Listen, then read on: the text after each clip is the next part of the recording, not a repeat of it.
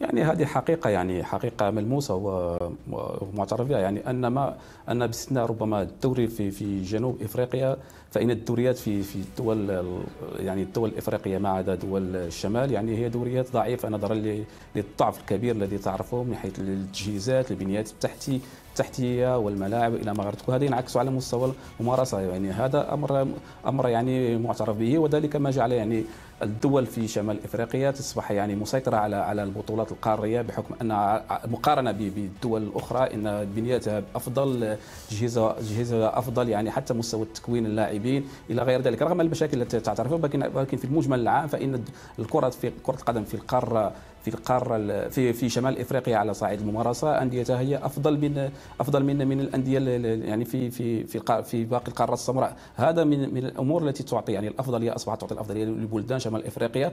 كانت هذه الأفضلية موجودة يعني في السابق يعني إحراز البطولات ليس وليد اليوم بل هو هو قديم يعني. لو نظرنا إلى التاريخ إلى إلى إلى ما قبل ذلك إلى الأهلي إلى حتى الترجي إلى إلى إلى الرجاء الوداد لأنهم سبق لهم أن فازوا بهذه الألقاب. لكن هذه هذه الأفضلية وهذه السيطرة وهذا التميز أصبح يتكرس حاليا في في في هذا في هذا الوقت التي أصبحت فيه الفوارق من حيث كما قلت من حيث التجهيزات ومن حيث المنشآت والبنيات التحتية وحتى على مستوى التكوين أصبح كله يعطي الأفضلية والأرجحية لأندية شمال القارة الإفريقية.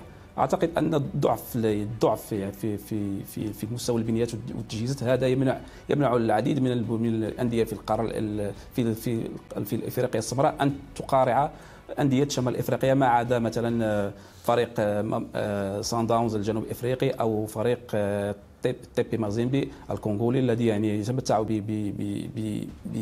بمكونات ومقومات جيدة جدا تخول له أن يقارع الأندية في شمال إفريقيا على الألقاب وعلى البطولات. هذا أمر يعني واقع ومؤكد وظاهر العيان.